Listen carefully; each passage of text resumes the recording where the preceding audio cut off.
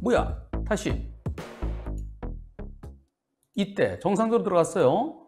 녹색 신호에 들어갔는데 이때 황색, 황색 으로 바뀐 건 아무 소용없죠. 난 정상적으로 들어왔어요. 들어왔는데 상대차가 아이코 상대차는 여기에 불법 정차되어 있는 차를 피해서 2차로까지 들어왔습니다. 근데 상대차가요. 상대차 쪽에 횡단보도 요 횡단보도에 보행자 신호인데 무시하고 들어왔대요. 그럼 이 차의 신호 위반입니다. 여기 보행자 신호 있으면 우회전을 못해요. 여기 보행자 신호 들어오면 우회전이 안 되고요. 우회전 한 다음에 여기가 보행자 신호면 보행자 없으면 지나가도 돼요.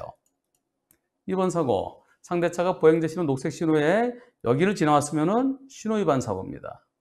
자, 2번 사고 신호 위반 사고인데 불박차 보험사는 100대 0 주장하고요. 상대 보험사는 80대 20 주장한답니다. 과연 제가 뭘 잘못했을까요? 상대가 아, 횡단보 녹색 불일 때 우회전했는데요. 어, 이거는 아, 그리고 그 앞에 불법 주차 불법 주정차 차량의 잘못은 없는지요? 이렇게 질문하셨는데요. 이거는요. 일단 신호 위반이지만은 그러나 백병으로 보이지는 않습니다. 신호 위반이 다 백병은 아니에요. 왜냐하면 가끔 여기 횡단보도에 보행자 신호가 켜졌어도 슬금슬금 우회전차들이 있는 게 현실이죠. 그리고 경찰에서는 한때 경찰청은 여기 보행자 없으면 그냥 가라 우회전은 된다 사고만 안 나면 된다 사고 나면 신호 위반이다 그렇게 홍보를 한 적도 있었습니다. 여기서 자, 또 흰색 차. 이 흰색 차가 멈춘다는 보장이 있습니까? 이 차 때문에 나한테 들어올 가능성이 있죠. 그럼 어떻게 되나요?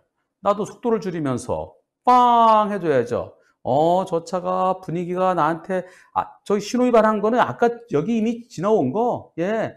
아, 그거는 나중에 신호위반으로 책임을 지, 물으면 되는 거고요. 신호위반 처벌받게 하면 되는 거고요. 그러나 여기서 저 차가 여기 요 차 때문에 내 앞에까지 이 차로까지 들어올 가능성이 있죠. 그렇다면 나도 속도를 줄이면서, 속도를 줄이면서 빵! 그래서 80대 20으로 볼 수 있습니다. 100대 0은 쉽지 않습니다. 2차의 책임 물을 수 있을까요? 2차 때문에 일어나는 게 아니라 저차 때문에 일어나는 게 아니라 2차가 잘못해서 일어난 사고죠, 2차가요. 그래서 이것은 요 차에 대해서만 책임을 물으면 되고 2차에 대해서는 나중에 2차가 2차에 대해서 부상권 행사하는 건 나중 문제예요. 근데 신호 위반에서 무리하게 들어온 2차의 단독 사고 요, 요, 요, 요, 요 불법 주정차 차에 대해서는 아, 과태료 부과 대상으로 보여집니다.